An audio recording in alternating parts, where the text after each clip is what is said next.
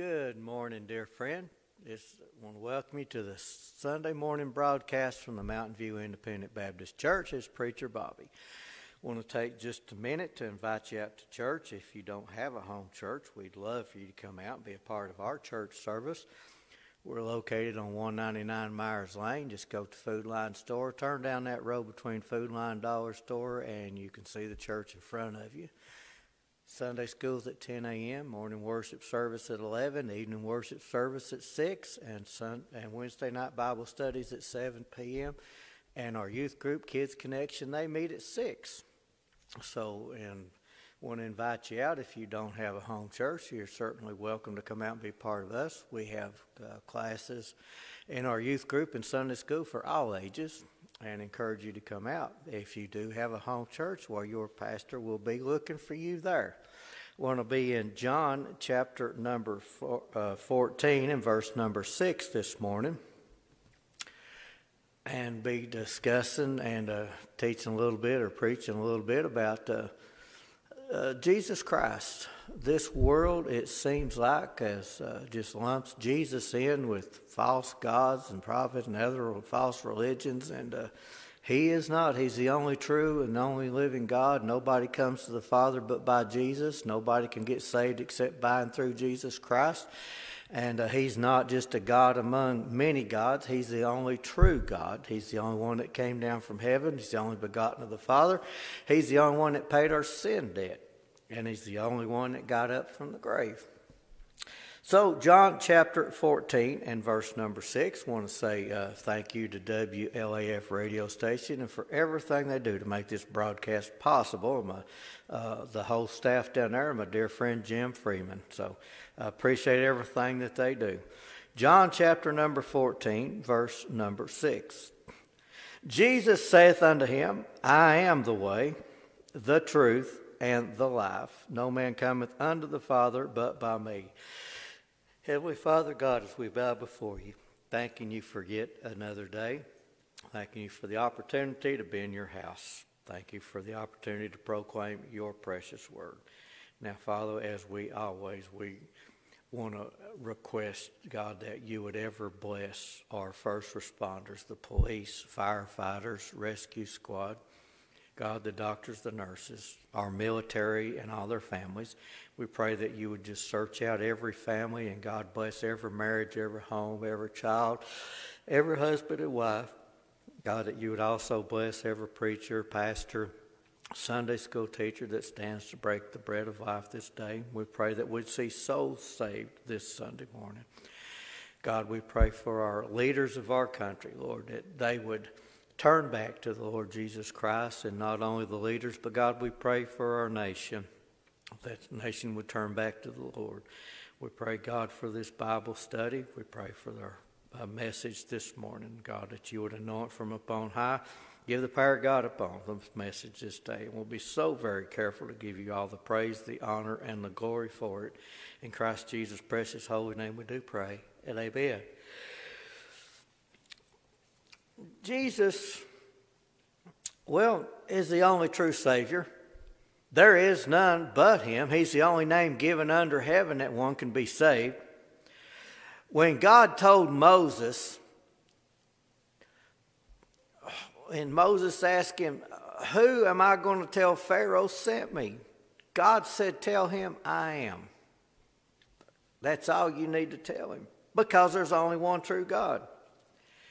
He didn't come, I'm talking about Jesus, didn't come to start a religious movement. He didn't come just to start an organization. He came to buy and bring redemption to lost souls. He came to save the lost souls. We live in a country where our higher education or higher learning and college professors will try to teach you that Jesus is a figment, uh, uh, he's a figment of your imagination, he is something that's been made up. You'll be told and taught in, in, in this world that uh, He's just one God among many. He ain't no different than uh, the evolutionists that try to let you know that uh, there is no such thing as a God. This is no God didn't create anything. It's evolution. Big Bang. It just happened.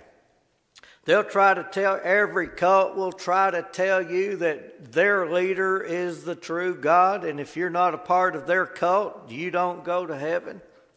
The Satanists will try to tell you that the devil is the only God to worship. Unbelievers will tell you God doesn't exist. Agnostics will tell you that there's no proof of any God. And all those try to put Jesus on the same level as a myth, as Santa Claus, Easter Bunny, some fable, or he's no different than some pagan or Greek demigod. But might I tell you, Jesus says in verse number 6 of John chapter 14, I am the way. He didn't say, I'm the way among many different ways. I am the way. There's one way, and that's the Lord Jesus Christ.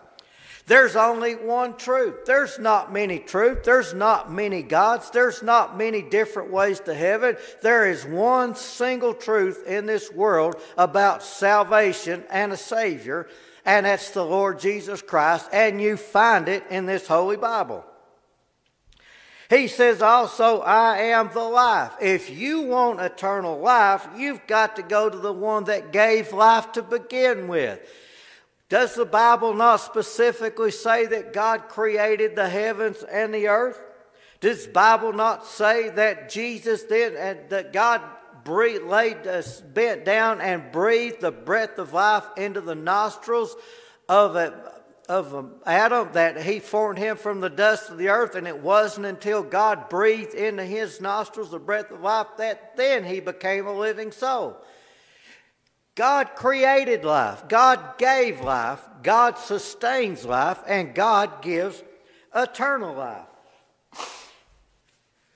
And so you find Jesus just isn't a God, He's the God, the only God. But no man comes to the Father except by Him. I think He cuts it pretty clear. He's not among Zeus or some of the other gods that people want to adopt. He's not a false god made up by some religion. He's not equal to Buddha or Buddha equal to him? You see, when you look at Matthew chapter 28 and verse 6, they came looking for Jesus who, who was witnessed as dying on the cross. The world at that time saw a man bloody and beaten and dying on a cross. They witnesses saw his dead body taken from the cross, carried into the grave. But then when his believers and came to, to, to anoint him, it's when the soldiers were put as a guard so that no one would steal his body. The angel was sitting on the stone that had been rolled away, not to let him out, but to let them in. And they said these words He is not here. Now, the words that followed, He is not here, wasn't they carried him off? He's in a different place. It was, He is risen as He said. What separates Jesus from the made up and the false gods of this world is the fact He defeated death, hell, and the grave. He said, I'll lay my life down, but I'll pick it back up on that third and appointed day. He's not here because He is risen as He said. Nowhere in the history of mankind, from the creation of the heavens and the earth and the creation of mankind, did anybody die for the sins of those and then raise up on the third and appointed day? Early that morning, God's heavenly power raised him from the grave he walked out of the grave, but that was after he paid the sin debt. That was after he went into the innermost part of the earth and set the captives free. He came back out among the living. He defeated death. He's defeated every demon. They death couldn't hold him. Demons couldn't hold him. Early that morning, May I say that Buddha never got up from the dead. Muhammad, Allah didn't. Confucius never did. The Jim Jones of this world never got up from the dead.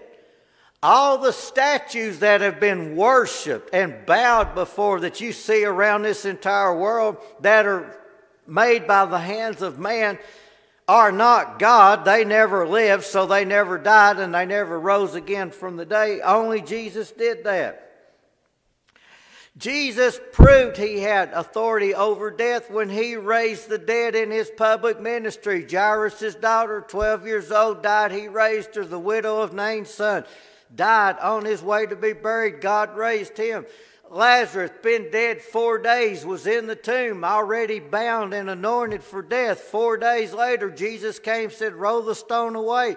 Called Lazarus by name, and he raised him from the dead. And Jesus himself got up from the dead. He raised the dead, then he raised himself. But may I tell you that he didn't do it privately? The Bible specifically tells us that the graves were burst open. Five or five hundred were seen by many. He got up out of the grave, walked through the streets, was seen by many, stayed above ground, witnessed it for 40 days, then he ascended on a cloud to heaven. Nobody else could have done that. He did this in front of witnesses. I can just see it as we as we preach on uh, resurrection morning as we remember that Jesus got up from the grave on that third and appointed day. I can just imagine he came out early that morning as it began, the day began to dawn. He came out of that grave and he looked around. He looked up at the sky that he created. I believe he took him a big old breath of fresh air. He looked around at the clouds. He looked around as the sun began to rise and shine and the daylight came that day. He looked behind him at the graves that nobody, before he rose that third day, nobody ever had hope at a, at a cemetery. It was a place of death. It was a place of separation. It was a place of no hope. But now that Jesus stands, now you have hope. Now you go to the cemetery. Notice that's not the place where it ends forever, but that's the place as Jesus walked through that cemetery back throughout the land of the living. One day he's coming back to the cemeteries of this world at the rapture of the church, and he is going to raise the dead just like he did that morning. Now you have hope. But not only that, dear friend, he saw people, he spoke to people, he was witnessed by many. They, the ones that saw him die on the cross of Calvary now see him alive. Jesus got up from the grave. Nobody else done that. You can see some of these uh, false gods around this world. You can see the communist leaders that portray themselves as God as well as leaders. They're dead. You can find dead their dead bodies still somewhere in the grave. Jesus ain't there. It's empty. He got up.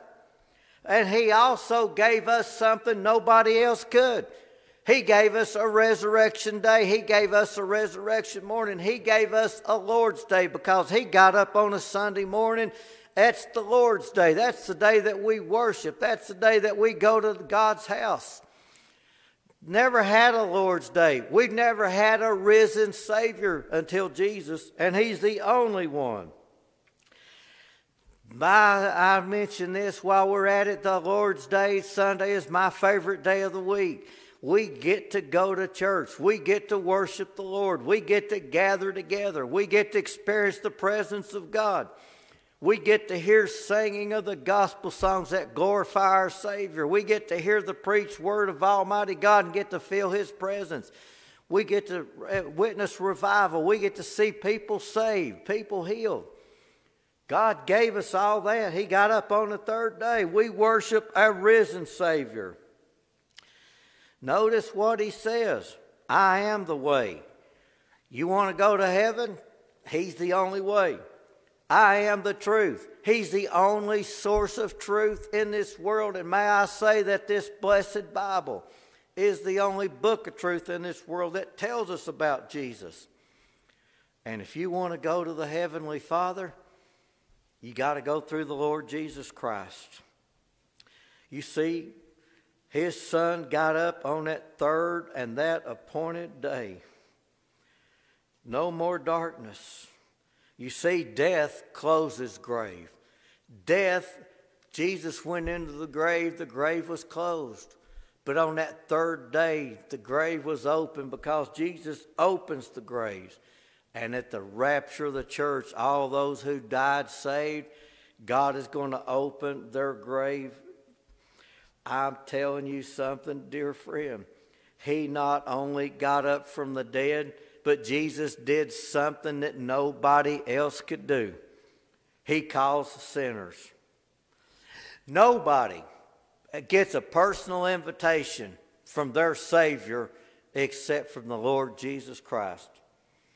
Do you understand that we don't even know we're lost until God sends Holy Ghost conviction? And then God, the Holy Ghost, says, There is, you're lost, you're going to hell, but if you want to go to heaven, you got to accept Jesus. He stands on at the door of your heart and he knocks.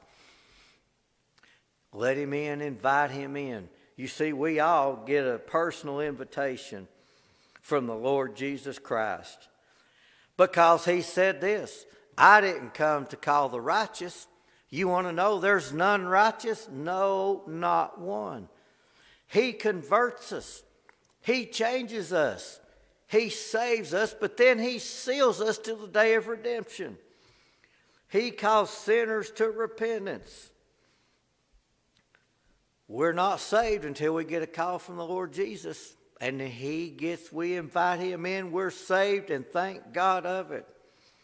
Of everything that we have in this world, our salvation is the most important. You know what He says in Revelation? He said, I stand at the door and knock. He not only got up from the dead, He not only calls sinners, but he converts the soul. You think about John 3 and 3 except a man be born again, he cannot see the kingdom of God. You see, you don't just go to heaven by your good works. You don't go to heaven because of your name or who you are or how much you've made or what you've done in this life. You only go to heaven because you accepted the Lord Jesus as your personal Savior. Past sins are forgiven. Past sins are put in the sea of forgetfulness. You get to start life all over again, and you're saying, But preacher, you don't know what I've done. And how is it that all these criminals that we see on the TV and we've read about, everything that they've done. May I remind you that Jesus sailed through a storm to a place called Gadara. That man had a legion of demons in him. That man was hated by everybody and loved by no one except Jesus. And if he can save a man with a legion of demons in him, if he can put him in his right mind, fully clothed, a man that lived naked among the tombs that screamed and shrieked, a man that was hated by everybody, if he can save him, put him in his right mind, and then send him back to that same city, telling everybody what Jesus had done for him, he can save us. You see, we're God's second creation. He created the heavens and the earth. He created Adam and Eve in his own likeness and image.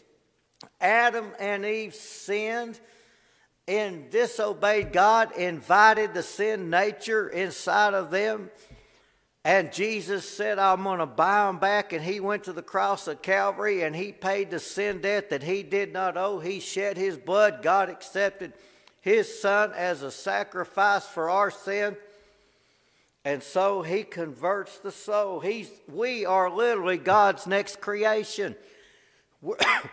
the old man is gone, the new man is, is now. We're not who we used to be. When God looks down inside of our soul, if we've been saved and we're sealed, God sees the blood of His Son cleansed us from our sins, and we get to go to heaven. He converts the soul so that death is everyone's appointed to die, dear friend, but after that, the judgment. But one of the comforts that we get is that if a loved one or family member dies, if we know they've been saved, we know we'll get to see them again. You see, the family don't have to worry about you after you're gone. Just as the demoniac was tried, uh, he was confined with chains and he broke the chains. Jesus broke the chains of sin in our heart. He gives us a whole new perspective, a whole new mindset.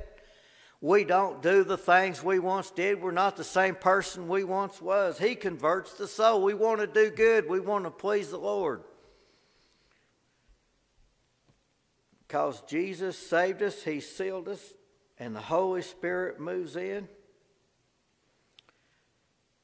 You know, it's like the day of Pentecost when the Holy Spirit was given to the New Testament church. Just as Jesus kneeled and breathed the breath of life into Adam, he became a living soul. When the Holy Spirit came and he moves inside of us, that's almost like another breath from heaven that gives us an eternal soul that will live forever with God in heaven. He also calms the storms. Not just the storm. Do you remember his disciples? Oh, they were on a ship and they were sailing, and a storm came, and they rowed and they rowed and they tried and they toiled and they fought till they were give up. And finally, somebody said, Let's just tell God, Lord, don't you care that we perish? Jesus came out of that sleep. He got stood up on the bow of that boat, stood between his disciples in the storm, rebuked the wind, and calmed the storm. But more importantly, it wasn't the storm that they could see, it was the storm on the inside of their heart. Jesus will take the fears of this world and give us peace. In the middle of a storm, we can have the peace of Almighty God. Look around you, dear friend, and look how wicked this world has become.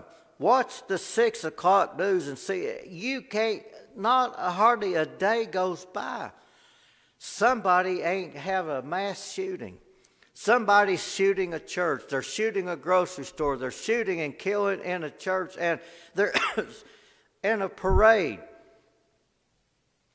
People have become so wicked that they just want to kill. We live in a world that's perilous times, full of danger, but yet we can still have the peace of Almighty God.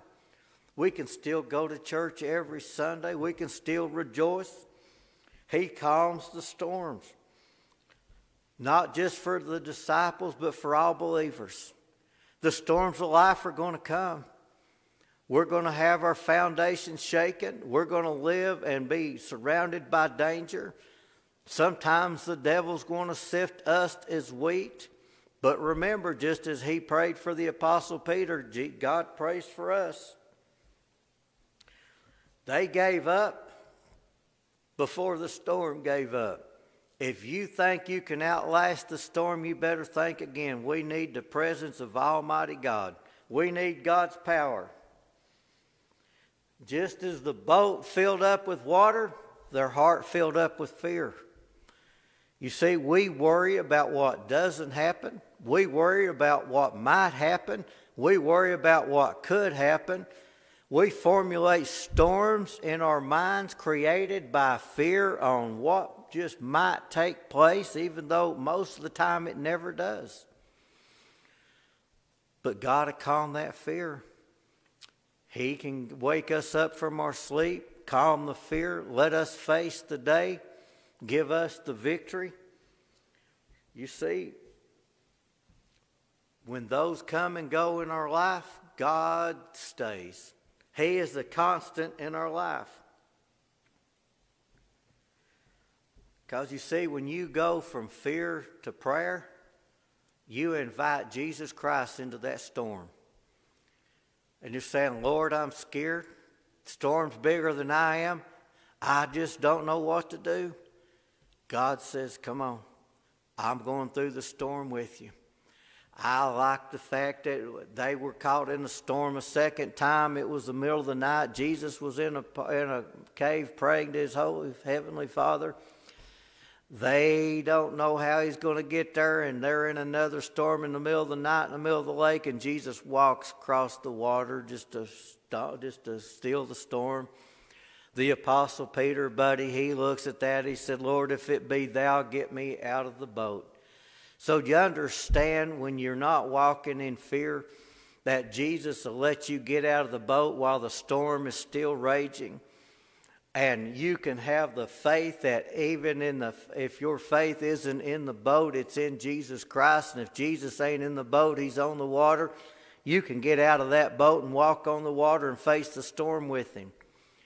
If you can face the storm in the boat and then you can face the storm out of the boat you can walk with god and that's what the apostle peter did but then again he started looking at the storm and the fear came back but Jesus, he called out to Jesus, Lord, save me. Three short words. It's the shortest prayer in the Bible.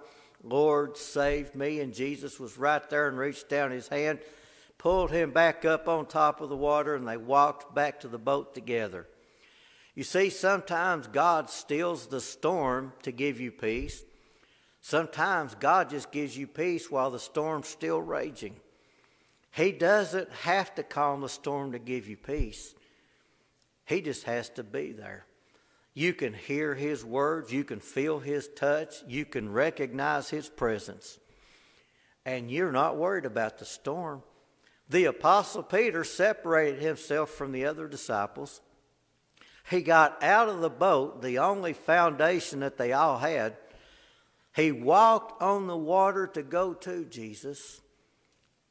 Fear came back in for a short time as he began to sink. He called out to God, and they walked back on top of the water together.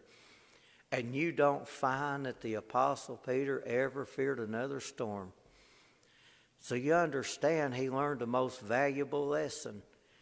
He doesn't have to calm the storm on the outside that you can see if he calms the storm on the inside that only he can see. So you understand he brings peace in the midst of a storm. And the storms he calms, he can calm the one that everybody can see around us.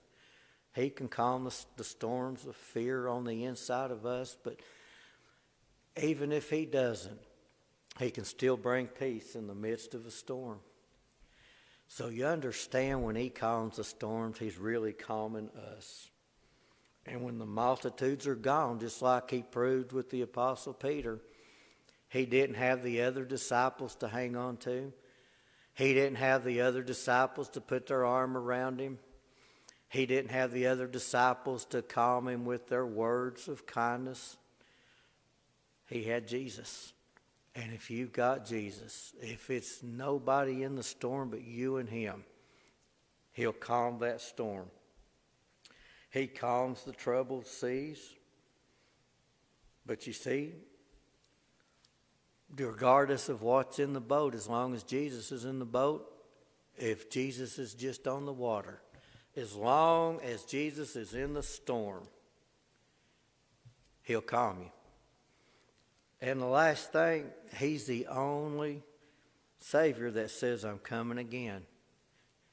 When he walked his disciples outside the city and they saw him leave on a glory cloud, he said, I'm going to promise you a few things. He said, Number one, he said, I'm sending a comforter. But then again, he says, I'm coming back to get you. And he, then that angel said, Do you see that Jesus that just left on this cloud? Says he's coming back like manner.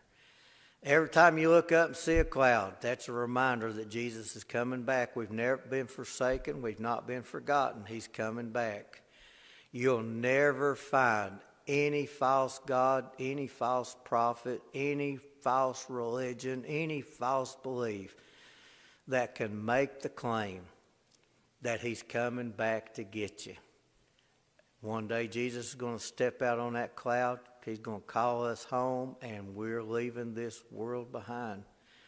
So I'm going to tell you As I close, Jesus says this I am the way, the truth, and the life. No man cometh unto the Father but by me. Put your faith, your hope, your trust in the only truth, the only way, the only life, the only Savior, Lord Jesus Christ. God bless you. Have a blessed day.